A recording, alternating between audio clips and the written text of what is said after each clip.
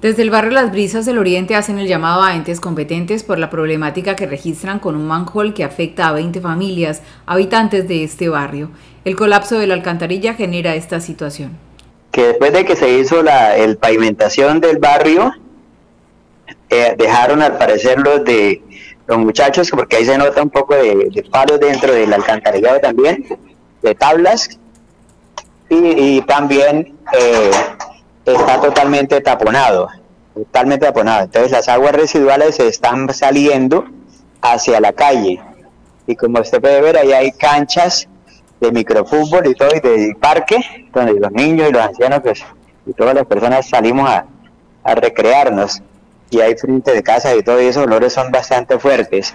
Agua de la Carmena se le ha dado a conocer ya por dos ocasiones. En una ocasión, eh, hace como un mes vino y succionó una cierta parte y medio destaparon, pero no destaparon totalmente todo. Ahora, en estos días anteriores, hace tres días aproximadamente, le mandó de nuevo el, anuncio de, eso y se ha visitado Agua de Bancarmija y no han solucionado nada, nada de la temática de ese desbordamiento de aguas residuales. A pesar de los llamados y radicados exponiendo la situación, aún no han sido atendidos.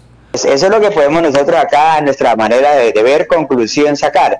¿Por qué causa? Porque a una de las, de las alcantarillas que pudimos abrir, usted entenderá que eso es bastante duro, eh, vimos unos materiales que ellos, cuando hicieron pavimentación, colocan en la mitad de, la, de las bocatomas de las alcantarillas para después hacer las tapas y en lugar de haberlas botado o sacado, al parecer, ¿no? Las dejaron caer en el alcantarillado. ¿Qué tal eso?